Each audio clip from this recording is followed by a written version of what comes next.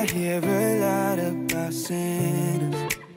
What's up guys? Guys, andito na naman po tayo sa panibagong araw sa trabaho. So guys, ngayon papunta tayo ng meeting. Alas 8 meeting ko. Time check 7.53. 7 minutes na lang. Imi-meet ko yung contractor. Magdi-discuss kami ng restoration limits. Update ko lang kayo mamaya guys ha. Alright? Bye! There's a way that the sky opens up when we touch, girl. It's making me say that the way. Hi, morning! How are you? Gerardo. Gerardo, nice to meet you. Nice to meet you. All right. Thank you so much for coming out. No worries, no worries. I was a little worried about this concrete spanner right here. Okay. Yeah, I think you need to do the whole thing. The whole entire thing. Yeah. You would still have your V ditch in there also. If we cut on the proposed line, we would still have your V ditch for your drain. So you wouldn't be messing with it at all. I can get back to you on that. Would you? Would you please? Yeah, for sure. I can talk to my city engineer, so Yeah. I can have his thoughts about this one. Please ask him and, and see what.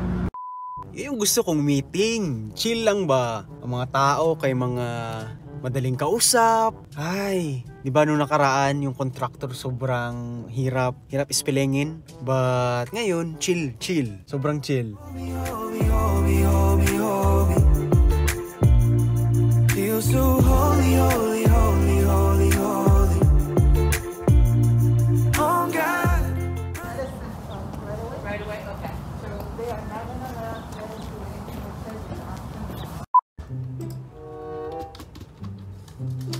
So guys, update lang. Nagpa-plan check ako ngayon. Itong mga submittals na to, pala nangyayari dito, may mga on-site improvements yung mga tao. Kasi dalawa yan. On-site and off-site improvements. Yung on-site improvement, yun yung mga nangyayari sa loob ng private property. Yung off-site, yun yung nasa labas ng private property. Pag yung mga property owners, yung total ng kanilang costs to make the improvements inside is more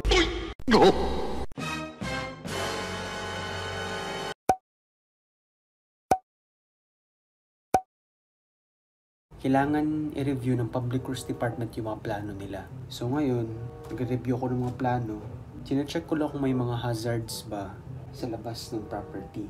Basically, kung uplifted ba yung sidewalk, kung yung mga driveway approach nila is hindi per standards.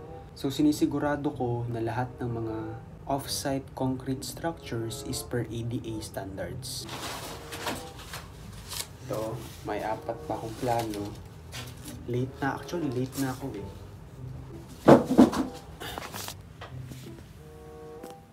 Maliban dyan, ayan, meron pang plano dyan. Ayan, may mga plano pa dyan, plano pa dyan. So, sobrang dami. Good luck sa akin. Sir, may express card ka po, sir. sir, lagi po kayo dito nag-shopping, sir. Bastos. Ay, mabagal para sa ano.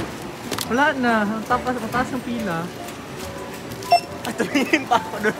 Anga. Ay, mabagal. Ano daw? Ay, di marunong ang aming ano. Training pa, oy, pag sure. Ano ba yan? Di marunong. Bantay lang ka doon. Saan ang code nito? Ayan o, nakita.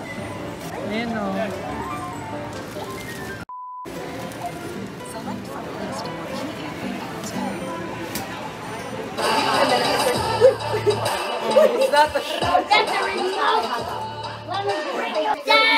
Easy!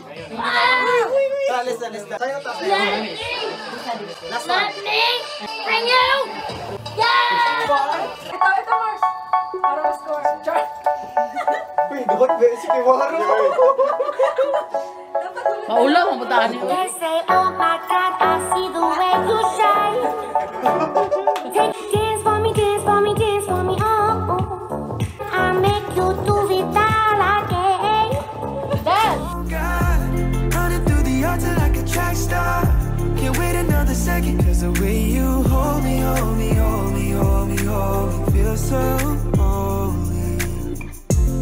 say we're too young and pimps and the players say don't go crushing. Wise men say fools rushing, but I don't know. Say we're too